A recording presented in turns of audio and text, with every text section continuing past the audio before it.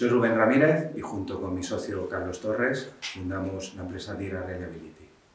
Pues en Dira eh, lo que hacemos somos una empresa de servicios de base tecnológica que aplica una metodología que se llama mantenimiento predictivo para la mejora de la fiabilidad de activos industriales, principalmente maquinaria.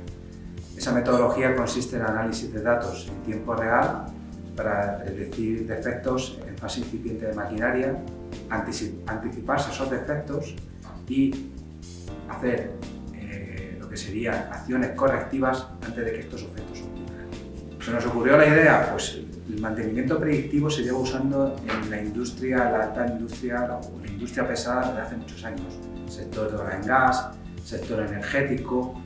Entonces lo que vimos es que eh, había que aprovechar esa metodología usar eh, tecnología un poquito más, eh, digamos, más flexible para llegar a empresas que ahora mismo no lo estaban aplicando. Es decir, sector manufacturero de pequeño y mediano tamaño, que es principalmente las empresas que tenemos en España.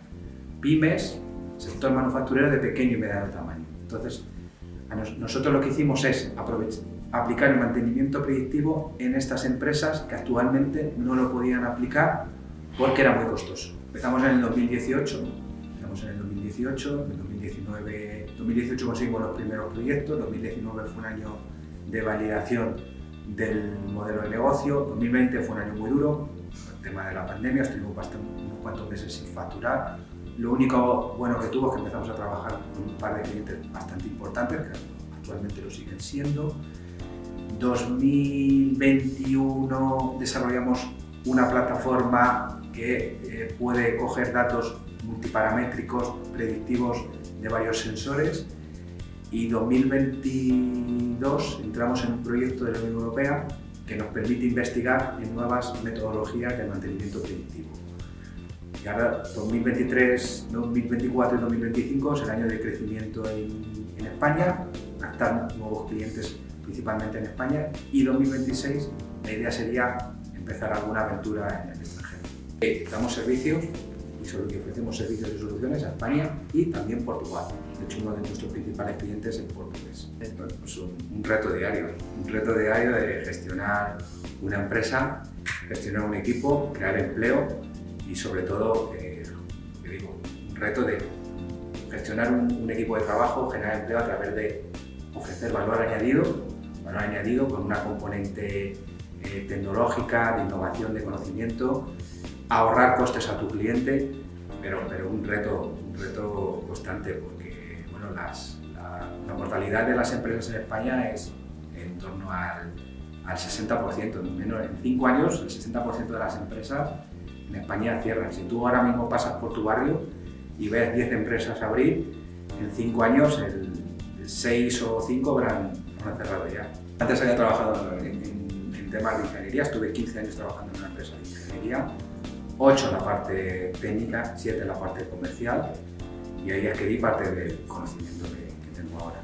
Sobre todo mucho conocimiento técnico y mucho saber cómo funciona una empresa por dentro, cómo se puede ir generando un, equipo técnico potente y solvente.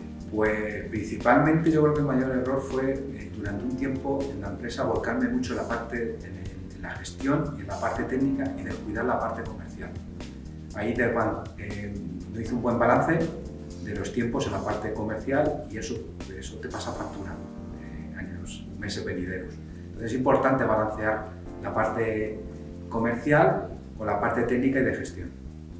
Es importante que tenga conocimiento técnico, ingenieril, incluso cada vez más, yo creo, más, menos importante que tenga conocimiento ingenieril, que tenga pero sí que tenga un conocimiento técnico, que tenga, es decir, en una empresa que trabajamos con máquinas, sí, que es importante que esta persona conozca procesos y conozca máquinas, pero lo más importante son las, las sobre claramente.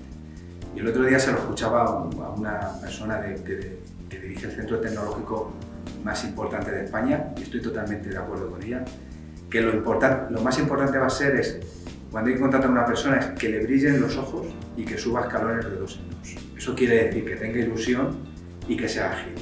Y eso va a ser lo más importante porque a día de hoy los técnicos van a tener que aprender y desaprender muy rápidamente. y ser ágil va a marcar la, la diferencia. No tenemos claro, constantemente las empresas de, de ahora estamos pivotando. Tú tienes un modelo de negocio hoy y en cinco años nadie te asegura que ese modelo de negocio vaya a servir. Entonces es importante tener un equipo que también sea ágil, aprendiendo nuevas, nuevas capacidades y nuevas técnicas. Impact Hub, Impact Hub lo, lo, conocí en el 2018 cuando estaba buscando dónde eh, colocar mi emprendimiento, buscando una sede y yo necesitaba una sede física para eh, domiciliar la empresa. Entonces fue quien me, quien me facilitó Impact Hub fue Google. Yo entré en Google, puse coworking en línea 4 entonces me apareció Impact Vine aquí cuando lo estaban construyendo, todavía no estaba acabado, me lo, me lo, enseñaron y me gustó el estilo. Me gustó el estilo y también dije, tengo que dejar llevar un poco por la, por la, por la vibra que me transmite el sitio. Y ver si en este sitio voy a poder alinear mis objetivos de empresa con, y mis valores de empresa con lo que se está construyendo ahí. Y bueno, la vibra fue buena y hasta aquí, y ya, por más de cinco años. Está bastante desconectar prácticamente estoy 24, 365.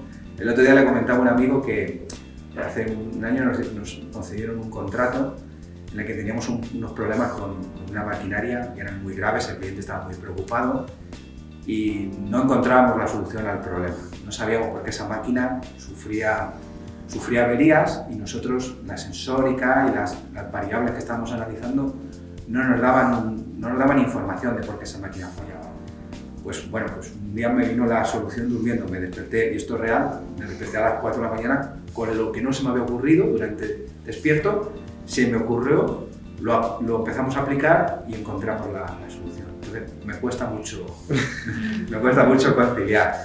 Lo intento balancear haciendo, haciendo deporte, que es lo único que me hace pues eso, generar esos niveles de dopamina para dormir mejor, pero si no, cuando no hago deporte, mi cuerpo lo nota. Pues eh, lo primero que tiene que estar dispuesta es, a solucionar problemas cada día y enfrentarse a retos y, mucho, y salir sobre todo, estar dispuesta a salir de la zona de confort. Ser emprendedor es, la antizona de confort. Vas cada día resolviendo problemas, conflictos y en, y en, un entorno que a veces no es el más, más amigable, puede ser hostil. Entonces, puedes serlo si asumes todo esto con una premisa. No, nosotros todavía no hemos levantado capital. Nosotros no financiamos con nuestra caja, con el fondo que pusimos los, los fundadores, que fueron pocos, pues solamente el capital social, lo financiamos con la caja y con los bancos. ¿Estamos pensando levantar capital? Probablemente sí, cuando empecemos la, la aventura en, en, el extranjero. Ahí probablemente, casi con toda seguridad, levantemos capital o busquemos un partner local, que creemos que sería una muy buena evolución, un partner local para abrir el, el DIRA que, estamos buscando en este país eh, fuera de España.